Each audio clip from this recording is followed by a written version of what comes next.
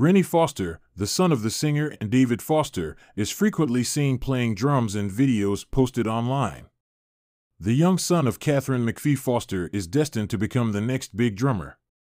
The 39 year old Smash star posted a video of her two year old son Rennie David jamming on a drum set on Sunday.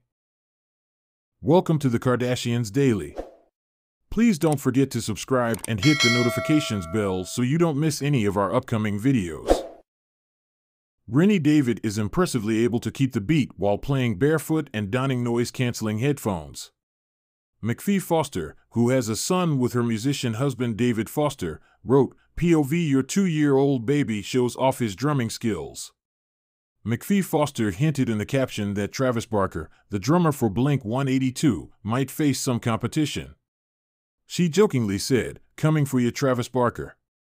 The former American Idol contestant and her husband talked to people in October about their son's developing musical abilities. Foster remarked at the time, We believe he will be musical, but we're not sure. Children, strangely, will perform an action for a period of time, amaze you, and then stop. So we don't know if the drumming thing is here to stay, to be honest. I'd rather he had a tennis racket in his hand than a drumstick. However, it would also be fantastic if he chooses to become a drummer. He enjoys watching our drummer, J.R. Robinson. The singer actress and her husband praised Rennie's musical skills once more in a previous interview with Entertainment Tonight. McPhee Foster told the outlet, It makes sense that he'd be musical.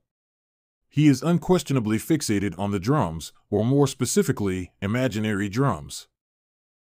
For daily news about the Kardashians, subscribe now and don't forget to press the notification bell. Foster, 73, argued that their son is still too young for them to predict whether he will follow in their musical footsteps.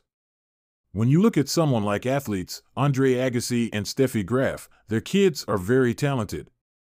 We don't know, but they're not tennis players, he continued.